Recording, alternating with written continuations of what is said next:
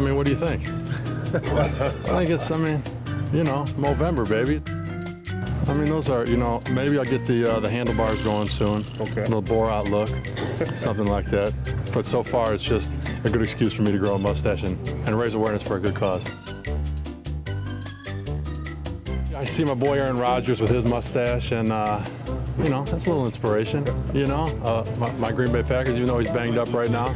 Oh well, just think about my man Larry Bird. I mean, this guy's mustache, and you know, I think back to be honest to my dad, who was my high school coach, and he always had a mustache, and he shaved it now, but that's what I think of. But you know, I think it's like I said, it's for a great cause, and gives us a great excuse to be able to grow a mustache and take that chance, right? Oh, my sister actually pleaded with me not to do it when I told her I was going to. She said, please, please don't. The creepy uh, mustache. But I told her, look, you know, I, it's for a good cause. You know, don't be a bad person. So, so far, I think so good.